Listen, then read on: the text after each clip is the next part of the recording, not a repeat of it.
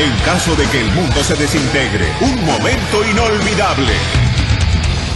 Desde Esmirna, Turquía, llega el coronel chingón. No mames, güey. no mames, güey. ¿Cómo está, coronel? Usted no imagina, coronel, en lo que a Qué nosotros nos, nos agrada suyo. recibir Sí. un mensaje suyo. Pues sí.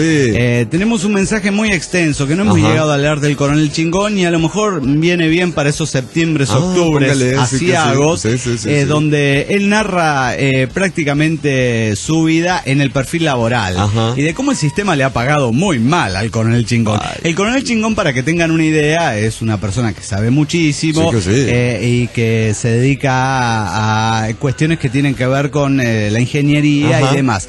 Y ha estado, por lo menos desde que nosotros lo hemos eh, conocido al coronel, Sí y ha prácticamente al borde del retiro. De hecho, mm, mm, tendría, tendría toda la posibilidad de retirarse, Pues jubilarse y claro, darle de comer a las palomas en una playa céntrica de. Madrid, pero él no se hace sin su trabajo y además está un poco obligado a seguir trabajando Sí sí. en estas eh, épocas que corren. Eh, pero siempre ha estado en el lugar donde nadie quiere estar. Totalmente. ¿Entiendes? O sea, pozos petroleros en, no sé, en pleno conflicto de Afganistán, ahí estaba el coronel. Chingón. Y usted lo imaginaría como una especie de contratado eh, super mega millonario, porque en los Póngale, lugares donde no quiere claro, estar, usted le exacto, paga sí. mil. Eh, no, no, No, es no así. El coronel Chingón en una lucha incesable por, eh, incesante por conseguir alcohol, Ajá. generalmente en lugares Sí, que sí, donde no está totalmente no está prohibido. totalmente prohibido. Eh, bueno, el coronel Chingón desde Esmirna, en este caso, un saludo para todos los desintegrados, los antiguos, los de ahora y los que están por unirse a la comunidad pirata y lagarto. Y acá sí estamos en el Ecuador para los 30 años de programa. Para los que oímos el programa, porque a la nave, si la teoría de la relatividad es cierta, solo habrán pasado tres años como mucho.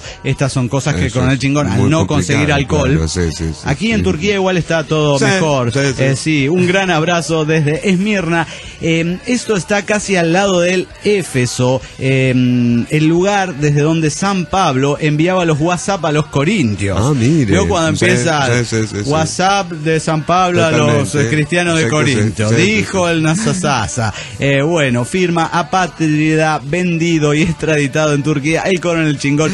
Le mandamos un abrazo enorme Un abrazo. a un hombre eh, que no podemos decir sin banderas. No. Un hombre con todas las banderas arropadas en su en su larga historia riquísima de trabajo siempre. Le mandamos un abrazo grande. Un abrazo Coronel grande, Chingón envió una fotografía del Coronel Chingón Uah. y eh, en una de las fotografías además que está él rodeado de banderas, Sí. eh, chameando como siempre, hay otra de un eh, de un afiche mm, Ajá. en Turquía donde aparece la figura del Che Guevara Ajá. con la estrella roja y todo escrito en turco, lo cual eh, nada, Chale, parece ¿no? parece sí, Sí. sí, es realmente impresionante, tiene que ver con una movilización, Pues- movilización de izquierda que Ajá. va a haber en Turquía y eso.